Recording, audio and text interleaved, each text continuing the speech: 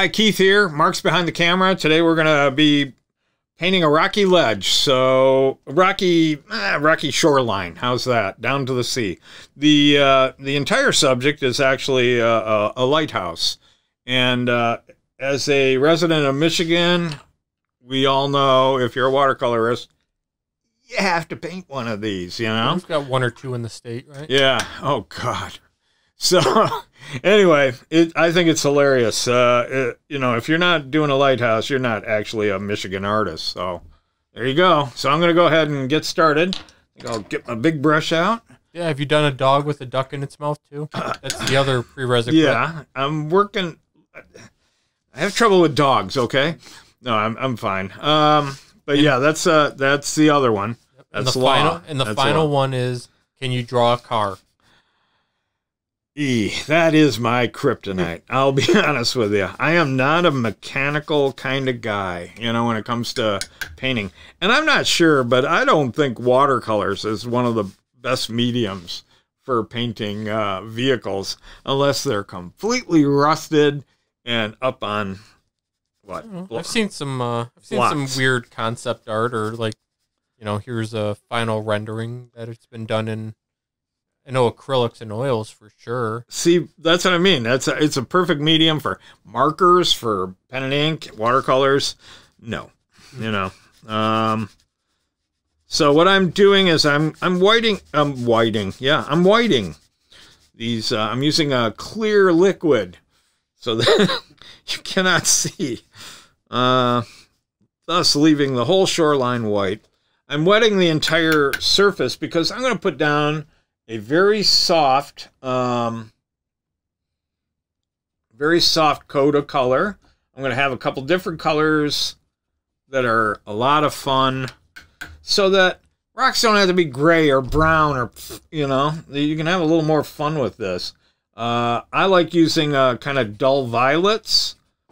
Uh, right now I'm, am I, can they see what I'm doing with the, Yeah. Oh, okay. I was just curious. Um, I'm just uh, making a kind of a violet uh, using uh, again magenta and ultramarine blue. Um, but what I'm going to do now is I'm going to add some uh, orange to this. I'm going to really gray this down so it's kind of a dull, much duller purple. All right, good. It'll still be purple when I'm done, but it's not going to be pretty. All right. Yeah, because we don't want a pretty painting. No, That'd be come on, no. Once I get the dead weeds and stuff in there, it'll be perfect. But it's a very um, kind of a dull gray. I, I don't have a good word,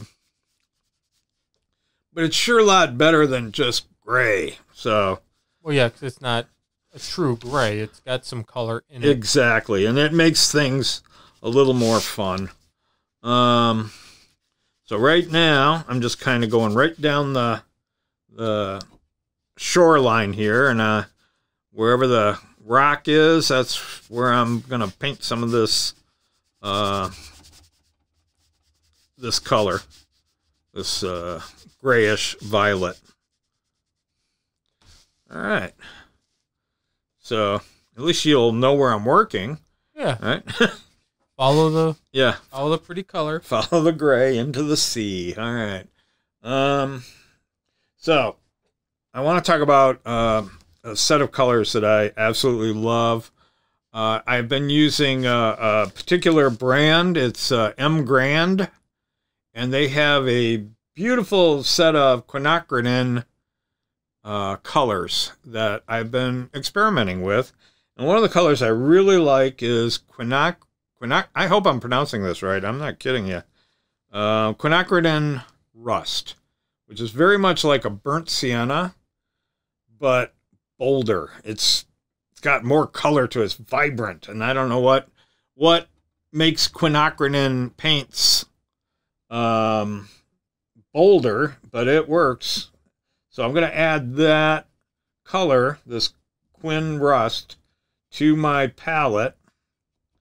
And I'm literally going to mix in a wee bit of the ultramarine blue again. I'm gonna grab a little more of the violet, or I'm sorry, a little more of the Quin Rust, and I'm gonna kind of wet this down a little bit. But what I want to do is I want to kind of go in where we've had the violet. I'm going to add a little more a little more color to it now. And that is this uh, brown I'm adding. Which is a little bit of the purple and a little bit of this quin. And, I, and like I said, for some reason this color, I don't know the properties. If I uh, have a one of my students who actually, I think she's a scientist because she she knows how to break down the colors really good. Um, I'll have her tell me why quins are so awesome. But as you can see, it's still wet and soft. I'm not doing, really not doing detail yet. I'm just kind of adding, throwing color into the, into what we're doing here. All right. So at this point, I do have to let it set up because after this, we're going to start doing uh, detail, breaking the rocks up so that they doesn't look like just one big lump of color, but here we go. In the meantime, I think I'm going to put a little color down for my uh, for my lake. It is a Great Lake uh, watercolor, so not the ocean. But what I'm going to do is So don't paint any salt. yeah, no salt. Um, I'm just gonna start filling in. This is just giving me something to do while I'm while I'm letting that uh, shoreline there break up. Now, Great Lakes they have some good stormy water, so I kind of like that. I'm leaving this. Whoa this little gap of white here, you can kind of see what I'm doing. I'm trying to make it look like the water is kind of splashing up a little bit. So I kind of wet it, and as you can see now I'm using my dry brush, just lifting the color that's that I just painted below, and just kind of pushing it up into those white areas. Make it look like splashes. This is uh, a patented technique. We should work on those. Patents. Yeah, patented patented techniques. Probably harder to do than we think it is. Well, I don't know. They did Zen Zentangle or whatever it's called. Uh, we used to call them telephone doodles, and uh, now they're now it's a patented technique that uh, only registered uh, Zentangle uh, teachers can uh, can use. I just think it's kind of amazing. Um, all right, so again, come in. So as you can see, what I like to do is I'll start with one color, then I'll I'll bring in another color to make it just a little more interesting. So right now I went back to the ultramarine blue because my sky is going to be not too cloudy. So I want some of that blue to show up.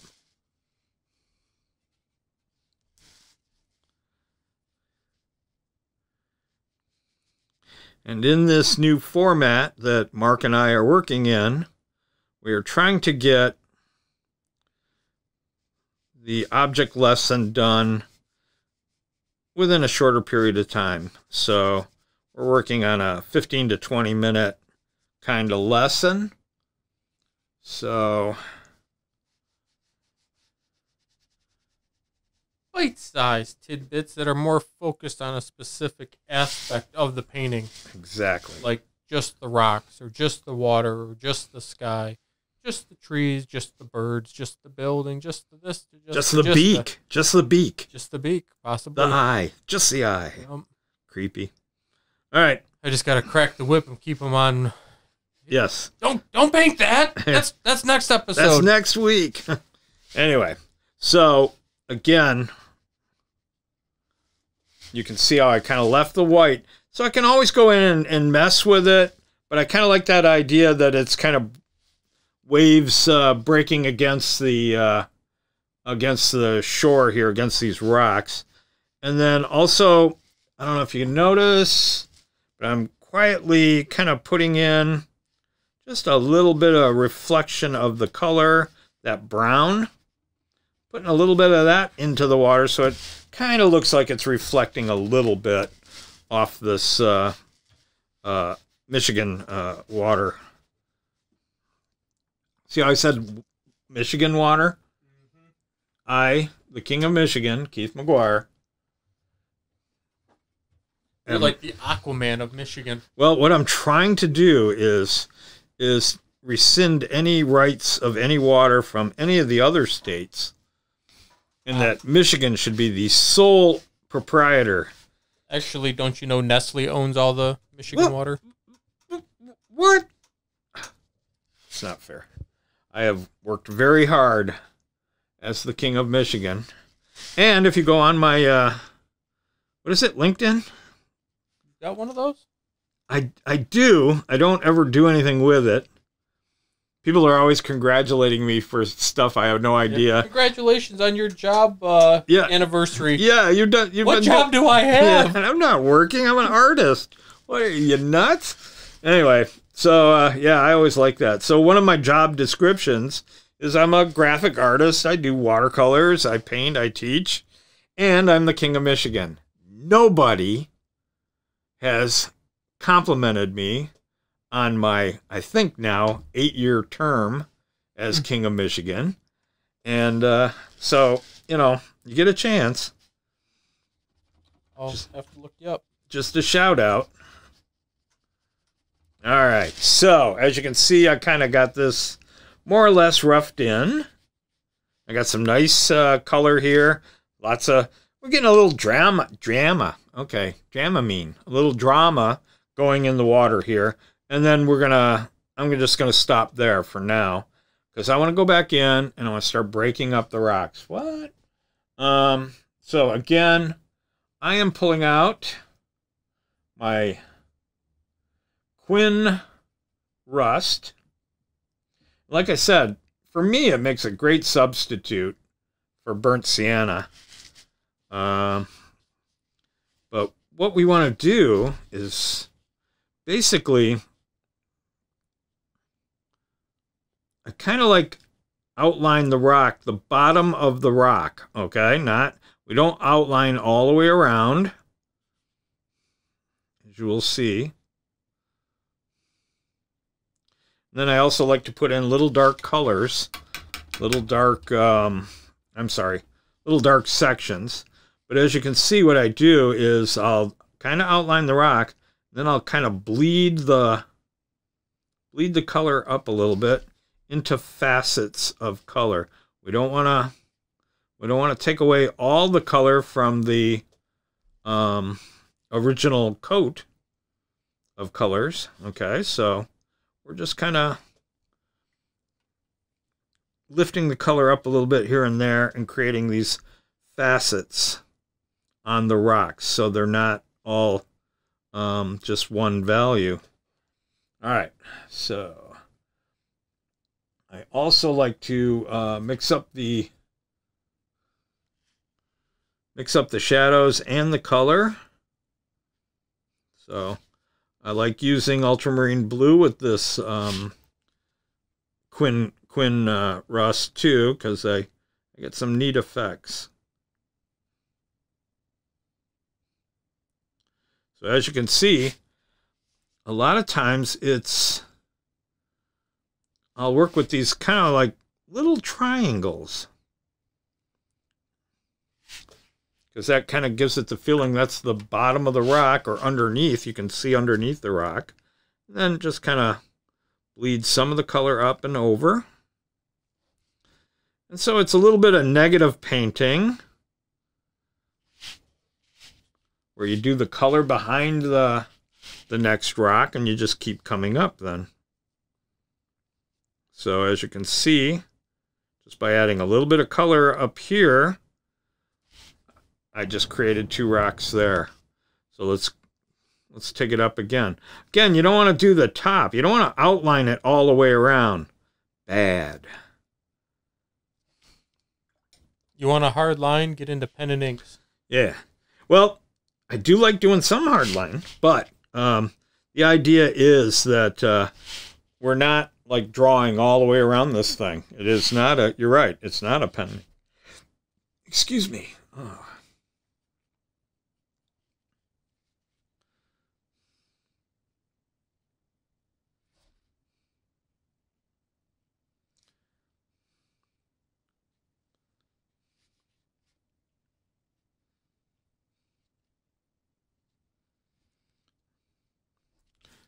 Okay. I have these things, uh, I don't know if you can really see it very well, but I do kind of, I like to kind of draw out my, my image because I don't want to have to guess too much as I'm working. For me, I can work quicker. So I do. I kind of detail out my image as you know, I kind of draw it out a little bit so I can see where I'm at and what I'm doing. But it's not, you know, you don't have to.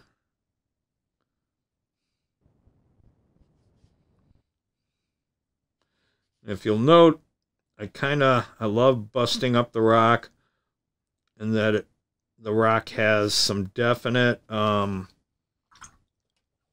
bigger, smaller don't make everything real even, because that just looks odd. You want uh, you want a, a really good chunk of randomness in uh, what you're what you're doing. Because if you kind of line the rocks up too much, what you're building is a wall. All right, so grab a little more.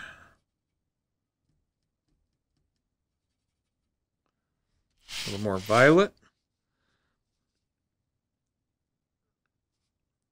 And what I'll do too is I'll go in areas where I have painted, where it's still wet, and again I will attempt to vary the color a little bit inside that little area.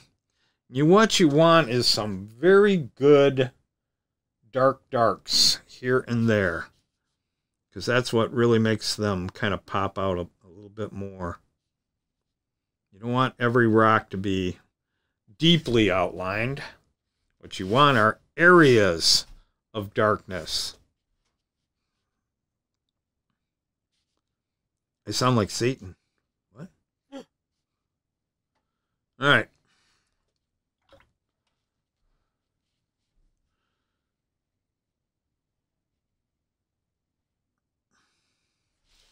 Okay, how am I doing time wise?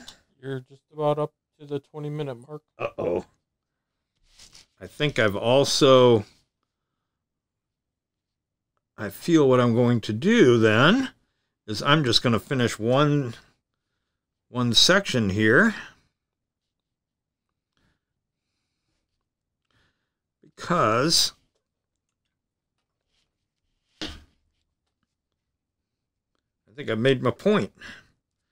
And the next next time you see me, the rest of it will be done all the way around, all the way down. So again, if you don't, you know, if you don't have the Quin, you know, don't worry about it. Use the burnt. Use the burnt sienna. Use uh I like uh for deeper values or darker shadows. Um, try to use some uh, uh, indigo. That'll get you some nice dark areas. See how I just keep keep working my way up. Keep going. Keep going. Keep going. No, no, no. I'm gonna I'm gonna end this. Was that your subtle? Subtle hint. All right. I know we've told you guys we're trying to do shorter videos, but that was all just a facade. Wait. So see how I come behind each rock and I, I just kind of bleed it up a little bit. That's what gives you the next layer of rock going up. So, Next episode, you're only allowed to paint one rock. no, the next episode, these will be all done. Because the next episode, we're going to work on uh, uh, the sky will be painted. Uh, we're going to do the tree line around the, the lighthouse. And, and I'll have these rocks finished up so you can see what they look like. But for right now, see, I, I love this stuff. I'm sorry. I love breaking things up.